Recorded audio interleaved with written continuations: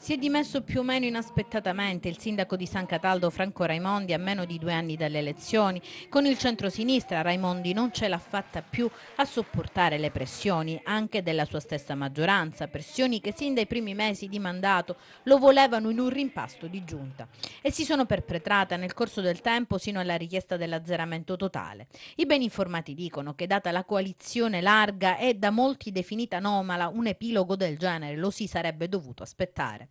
Infatti tra i corridoi di Palazzo delle Spighe nessuna meraviglia ha suscitato la notizia, si sentiva odore di dimissioni già da tempo ha consegnato i suoi pensieri ad un documento di sei pagine nel quale spiega le ragioni della sua scelta pensata, riflettuta e pare proprio sofferta. Sei pagine nelle quali traccia il suo percorso parlando di accordi politici non mantenuti e di impegni non rispettati da parte delle forze politiche che si sono apparentate al secondo turno. Ha scritto più volte la parola lealtà, generosità politica nel documento protocollato nella mattinata e però non ha retto alle pressioni dei partiti suoi alleati che chiedevano chiedevano di modificare la compagine di governo.